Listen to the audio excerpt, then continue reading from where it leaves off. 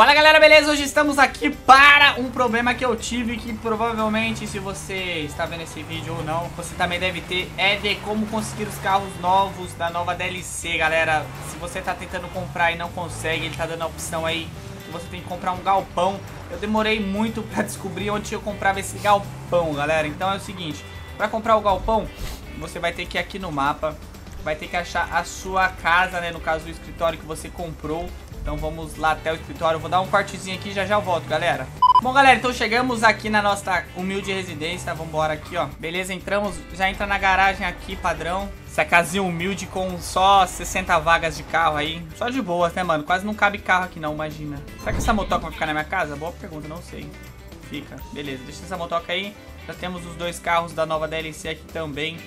Então, galera, é o seguinte. Agora vocês vão vir aqui no elevador. Vai lá, vai, filho. Corre aí. Corre, vai, vai. Aí vocês vão entrar na, no escritório aqui.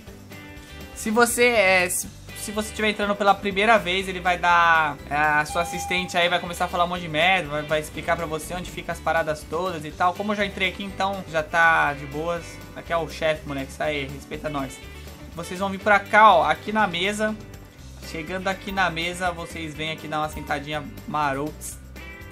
Sentou, aí vai ter opção pra vocês mexerem no computador.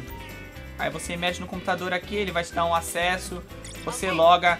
E aí está aqui, ó. Exportação de veículos, é só você comprar aqui. Se eu quiser comprar mais, eu posso comprar, mas esse daqui no caso é o meu... É o meu galpão já, onde tá todas as paradas. Ah, aqui tem Muamba também, não sei pra que que é isso, mas sei lá, enfim. É só você vir aqui e você comprando essa exportação de veículos aqui, você vai conseguir desbloquear aqui tudo. Então assim que você comprar ali, você vai conseguir é, desbloquear ali tudo aqui no... Dinastia não.